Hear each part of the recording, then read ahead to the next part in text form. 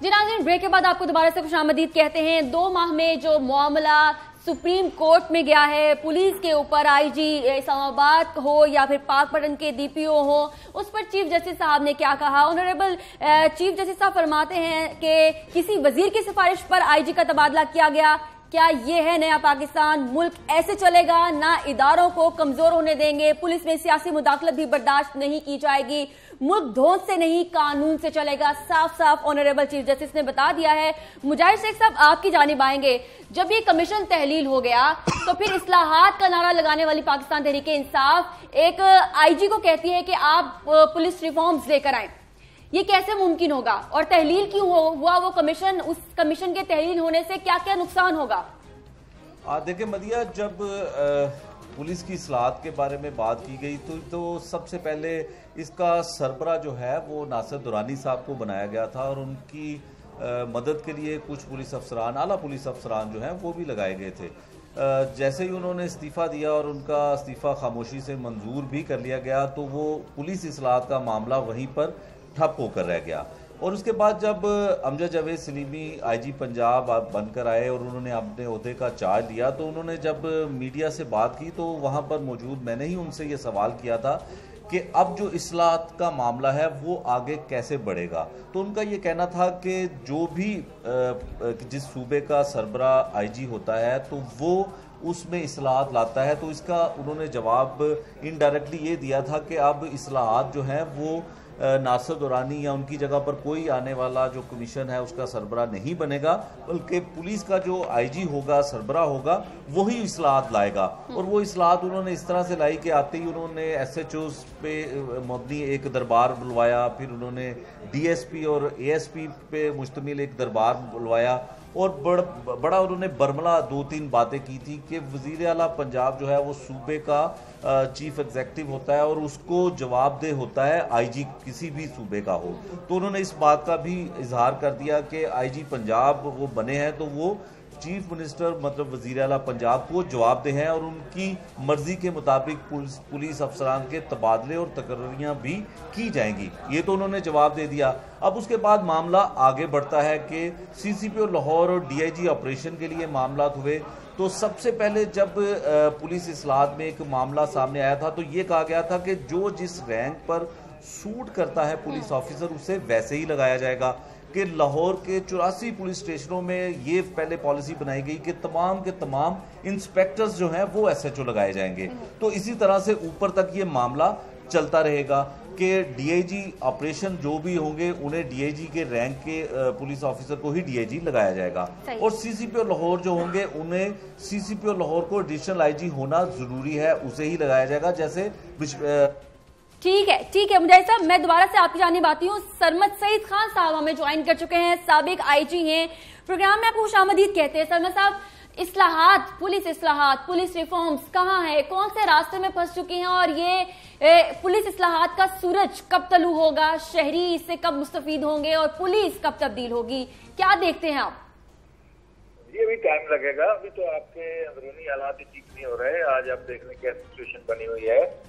तो इंशाल्लाह ये भी ठीक हो जाएँगे। जरा पुलिस लीडरशिप इन मसाइल से निकल ले और गवर्नमेंट इन मसाइल से निकल ले। इतनी जल्दी नहीं है। पिछले सत्तर अस्सी साल से असलाहत लाने की कोशिश की जा रही है। अट्ठाईस कमीशन बन चुके हैं। लेकिन हुकूमत के पास देखिए, वसाइल चाहिए ये लाने के लिए। सबसे पहले माइंड सेट चेंज करना है अपने लोगों का पुलिस ऑफिसर्स का और पॉलिटिशियंस का। कि ये पावर जो होती है ये कोई चीज़ नहीं होती। ऐसी चीज़ होती है अथॉरिटी और अथॉरिटी के साथ रिस्पॉन्सिबिलिटी ठीक है। सलमान साहब आप you are sounding very positive ये इतनी पॉजिटिविटी कहाँ से आई? हम तो उसी दिन आ, बहुत ज़्यादा लो फील कर रहे थे जब नासिर दुनानी साहब इस्तीफा दे गए। नासिर दुरानी साहब को तो लाया ही पुलिस रिफॉर्म्स की वजह से था और ऐसे मोड पर वो इस्तीफा दे गए कि पाकिस्तान तहरीक इंसाफ को भी ये मौकफ अपनाना पड़ा कि वो बीमार है और बीमारी की वजह से इस्तीफा दिया है। जबकि कहा तो ये जाता है होता भी है कि जब कोई बीमार होता है तो वो छुट्टियों पे जाता है अपनी सीट कोई नहीं छोड़ता। सीट देखे सीट अनपेड सीट थी वैसे भी और दूसरा दुरानी साहब को इस्तीफा नहीं देना चाहिए था इससे हमें ही नुकसान हुआ है हमें पुलिस तो सर नाराज़ किसने किया उनको? देने का। देखिए जो इस वक्त तहरीक इंसाफ के जो प्लेयर हैं कैप्टन तो ठीक है लेकिन प्लेयर्स को काफ़ी नेक्स्ट प्रैक्टिस की ज़रूरत है और प्लेयर्स की बड़ी बात कह दी सरमत साहब आपने। तो देखिए इनको भी जो है ना मेरा ख्याल इनकी प्रूनिंग करने की ज़रूरत है इनकी ट्रेनिंग करने की ज़रूरत है। अभी उनको समझ नहीं आ रही है क्या बयान देना है क्या बयान नहीं देना है हम्म। किस तरह करना है। तो ये ठीक हो जाएगा सेटल डाउन हो जाएगा इस तरह सर कितना कि, कि, कितने अरसे तक हम पुराने पाकिस्तान में रह लें और नया पाकिस्तान का जो सूरज है वो तलू हो जाएगा? फ़िलहाल ये सिचुएशन जो बनी हुई है। सेक्टेरियन और रिलीजियस और नेशनलिस्टिक और ये बजाय जो बड़े बड़े मसाइल हैं हम्म। तो बाकी सिचुएशन ठीक हो जाएगी। सिर्फ़ इसके लिए विल पावर चाहिए होती है विल ऑफ़ द गवर्नमेंट चाहिए होती है इस किस्म के काम करने के लिए। सर साहब आप अपने तजुर्बे तजुर्बे के तहत क्या कहेंगे? जो तबादले हो रहे हैं ये किसी लॉबी के तहत हो रहे हैं? आपको कोई लॉबी नज़र आ रही है? नहीं तबादले होते रहते हैं पुलिस के पहले भी ऐसे होते रहते सर ऐसे नहीं होते। छोटे रैंक का छोटे रैंक का अफसर बड़े रैंक में कब जाता है? कोर्सेज के कोर्सेज के ऊपर हम देख लें। कोर्सेज कोर्सेज को मद्देनजर रखते हुए। पैंतीस साल में हुई है उससे पहले हम कोई इनकम्बेंसी बोर्ड देख लें कि साल में कितने अफसर आते जाते रहे हैं। ये होने नहीं चाहिए। इस पे देखिए इससे एक तो ऑफिसर डिस्टर्ब होते हैं उनके बच्चे पढ़ रहे होते हैं उनके घर होते हैं उनकी फैमिलीज़ होती हैं वो डिस्टर्ब होते हैं। गवर्नमेंट हाँ। के फंड भी खर्च होते हैं उनको टी ए डी ए वगैरह और सामान के चार्जेस दिए जाते हैं। और होने नहीं चाहिए लेकिन अब क्योंकि नई गवर्नमेंट आई है तो ज़ाहिर है कि हमारे चूँकि जो मेन कल्चर होता है उसके अंदर ही रहकर पुलिस एक सब कल्चर होती है। जो मेन कल्चर की वैल्यूज़ और ट्रेडिशन होती है वही पुलिस की ट्रेडिशन होती है। अच्छा सरमत साहब आपने कहा कि होना नहीं चाहिए ऐसा। आप क्या सोचते हैं ऐसा हो क्यों रहा है? तो ये हर आदमी समझ आप मेरे चलिए लाइन में डिस्टोशन है सलमान साहब कह चुके हैं सरमत साहब के हमारा एक लाइफस्टाइल है बच्चे हैं पढ़ रहे हैं टीएडीए है ऐसा होना नहीं चाहिए। क्या आपको बात समझ आती है क्यों ऐसा सरमत साहब ने एक तो उनकी उसी तरह तो हैं जिस तरह प्राइम मिनिस्टर साहब की थी। हम्म। कि गड़बड़ जब शुरू होती है या तो उसे शुरू में रिपेयर कर लिया जाए तो मामला बेहतर होते हैं। अब बात सिर्फ़ पंजाब पुलिस की नहीं है। आप इस्लामाबाद के अंदर जो वाक़ हुआ है ये तो खुद हुकूमत की साख के ऊपर बहुत बड़ा सवालिया निशान है कि एक गरीब के बच्चों को पकड़ के आपने एक छोटे से बात पे उनको जेलों के अंदर बंद कर दिया है। चीफ जस्टिस ऑफ़ पाकिस्तान जब नोटिस लेते हैं ना तो कोई बड़ा वाक्य होता है। वो इस तरह की चीज़ों में नहीं उलझते। देखें बात ये कि डी पी ओ पाकपटन का इशू था।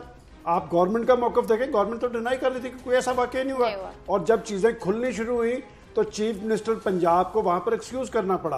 और अब भी आप देखेंगे, जब चीफ जस्टिस ने पूछा कि इनका तबादला कहाँ से हुआ, सेक्रेटरी दाखिला ने कहा कि जी हमें प्राइम मिनिस्टर हाउस से जुबानी मैसेज दिया गया था। बात यह कि खान साहब जिस इमरान खान को मैं जानता हूँ, देखिए बात यह वो अपनी एक कमिटमेंट के पक्के हैं। अब बात यह कि इसका मतलब गड़बड़ तो हुकूमत के अंदर मौजूद है। कौन लोग कर रहे हैं? और ये मैं आपको बताऊँ। शर्मा साहब शर्मा साहब ने कहा ना, कप्तान ठीक है, टीम नहीं ठीक बात यही है ना। हम्म। देखे कुछ लोग थे जो इमरान खान साहब के साथ स्ट्रगल में थे। हम्म। अब सवाती साहब कहाँ से आके शामिल हो गए? कौन सी पार्टी से आए हैं? और सवाती साहब ने मैं समझता हूँ कि फेडरल गवर्नमेंट का बेड़ा कर करके रख दिया कि ये शख्स है जो अपने जातीय अना की खातर पूरे एक अदारे को उसने टारगेट कर दिया जब तक इस तरह के लोगों की कुर्बानी नहीं दी जाएगी मैं समझता हूँ कि गवर्नमेंट का रुख दुरुस्त नहीं होगा। ठीक है। उमर ब्रेक में आप कह रहे थे पुलिस से ठीक नहीं होना पूछे ठीक नहीं हो सकती और लॉबी कौन सी है ये? तहत तबादले हुए सारे? कौन सी लॉबी के तहत तबादले हुए। देखिए जैसे सरमद साहब कह रहे थे मैं सरमद साहब की तकरीबन तमाम बातों से इतफाक इसलिए करता हूँ क्योंकि सरमद साहब वो ऑफिसर हैं जो इंतहाई कॉम्पिटेंट थे लेकिन तमाम टाइम उनको कॉर्नर रखा गया क्योंकि वो साफ़ गो थे करप्ट नहीं थे इसलिए उनको कभी भी मेन पोस्टिंग नहीं दी गई। सीपीओ में जब उनकी रिटायरमेंट हुई तो सीपीओ में एडिशनल आईजी फाइनेंस के तौर पे वो काम कर रहे थे। तो नो डाउट के पहले लॉबीज होती थी लेकिन इस टाइम पीटीआई की हुकूमत के अंदर लॉबी सिस्टम इस हद तक मज़बूत हो गया है कि आप देखें कि जूनियर रैंक के ऑफिसर जो अभी कोर्सेज के ऊपर हैं, उनको लगाया गया। एडिशनल आईजीज दो, जिनके नाम चल रहे थे आमिर जुल्फकार साहब जो आईजी मोटरवेज थे, उनका नाम चल रहा था कि वो सीसीपीओ लाहौर के तौर पर आ सकते हैं। इसी तरह दीगर एक एडिशनल आईजी हैं राव सरदार खान साहब, जिनको स्टैब्लिशमेंट डिवीज़न से पंजाब में मांगा गया। वो यहाँ पे आए और उनके मुतलिक वो डीआईजी ऑपरेशंस रह चुके उनके मुतलिक हर शख्स का ये ख्याल है कि उन जैसा अपराइट ऑफिसर पुलिस डिपार्टमेंट में कम मुयसर है। उनके बारे में भी यही ख्याल किया जा रहा था कि वो सीसीपी और लाहौर लगेंगे, लेकिन दोनों ऑफिसर्स को दोबारा से कॉर्नर करके जूनियर रैंक के ऑफिसर जो अभी कोर्स पे हैं, उनको लगाना इस चीज़ की निशानदही करता है कि अभी भी आईजी पंजाब अपने फैसलों में आज़ाद नहीं है उनको डिक्टेट किया जा रहा अच्छा। है और डिक्टेट डेफिनेटली से आ रही है dictation definitely within the department and political interference. दोनों चीज़ें हैं। सही। क्योंकि डिपार्टमेंट के अंदर ऐसे ऐसे इन्फ्लुएंस लोग बैठे हैं जो जिनकी बैकिंग जो है वो सियासतदान कर रहे हैं और वो जो कहते हैं वैसे ही हो रहा है।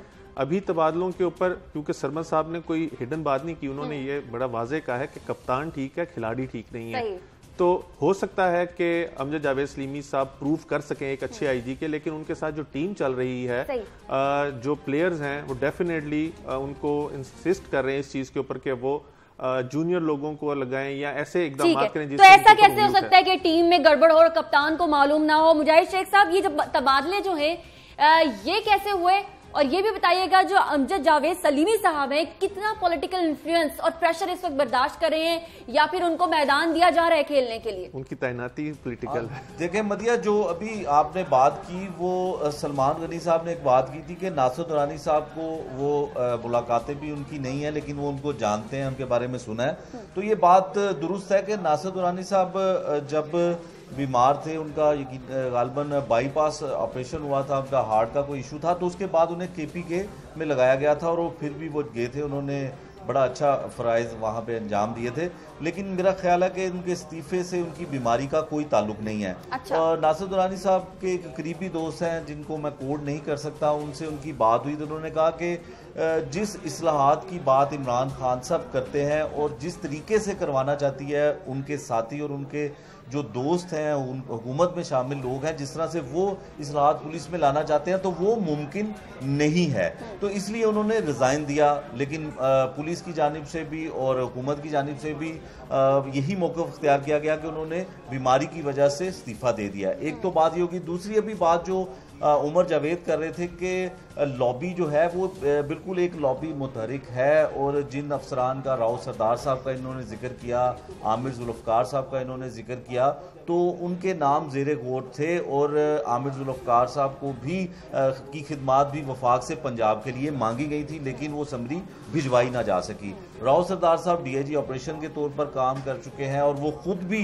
जो है वो इंटरेस्टेड थे, एडिशनल आईजी स्पेशल ब्रांच जो है वो लगने के लिए ख्वाहिशमंद थे, लेकिन चूँकि तमाम लोग उनके बारे में ये जानते हैं कि उन्होंने बिल्कुल मेरिट पे तमाम फैसले करने होते हैं, शायद वो किसी का प्रेशर भी बर्दाश्त ना करें। और जहाँ तक आपने एक सवाल किया कि आईजी पंजाब जो अमजद जावेद सलीमी हैं वो हुकूमत का प्रेशर बर्दाश्त कर रहे हैं या हुकूमत की मुदाखलत को बर्दाश्त करते हैं तो इस बात का तो इजहार वो खुद कई मरतबा ऑन रिकॉर्ड ऑन कैमरा कर चुके हैं कि हुकूमत के बगैर वज़ीर अला पंजाब की सिफारिश या उनकी रिकमेंडेशन के बगैर किसी अफसर को नहीं लगाया जा सकता। और इस बात पे तो वो इजहार कर चुके हैं तो इस बात का ये सबूत ज़रूर है कि जितने भी पंजाब भर में, मैं न सिर्फ़ लाहौर की बात नहीं करता, पूरे पंजाब भर में जितने भी तबादले हुए हैं वो किसी न किसी सिफारिश ठीक है मुजाहिद साहब मुझे इजाज़त दीजिए मैं एक ब्रेक लूँगी। नाज़रीन पाकिस्तान तहरीक इंसाफ ने अपनी पाकिस्तान तहरीक इंसाफ की हुकूमत को बनाने के लिए उस ट्रेन को चलाने के लिए अ, अपने डब्बे में बहुत सारी भर्तियाँ की और जिस तरह से पाकिस्तान तहरीक इंसाफ के अ, जो लीडर हैं इमरान खान साहब उन्होंने लोग इकट्ठे किए जो इतिहादी ग्रुप उन्होंने बनाया तो अ, वहाँ पे जो genuine hard core Pakistan Tehreek Insaf के फॉलोअर्स थे वो कुछ शैटर भी हुए कुछ नाराज़ भी हुए कुछ ऐसे लोगों के आने की वजह से पार्टी में और अब ये खामियाजा हम देख रहे हैं और ये कॉन्सिक्वेंसेज हम देख रहे हैं कि वक्त के साथ साथ निकल रहे हैं कि किस तरह से पुलिसिंग डिपार्टमेंट में वही सियासी लोग अपना असर रसूख दिखाते हुए उस स्ट्रक्चर को डैमेज करने की कोशिश कर रहे हैं। अब पुलिसिंग जो सिस्टम है आवाम के लिए कितना मुस्तफीद है? क्या अभी भी आ, आसानी से आम लोगों की खातन की और बुज़ुर्गों की एफआईआर दर्ज हो जाती है या नहीं होती? पुलिस कितनी आवाम दोस्त है? ये बात करेंगे। एक ब्रेक के बाद हमारे साथ रहिए।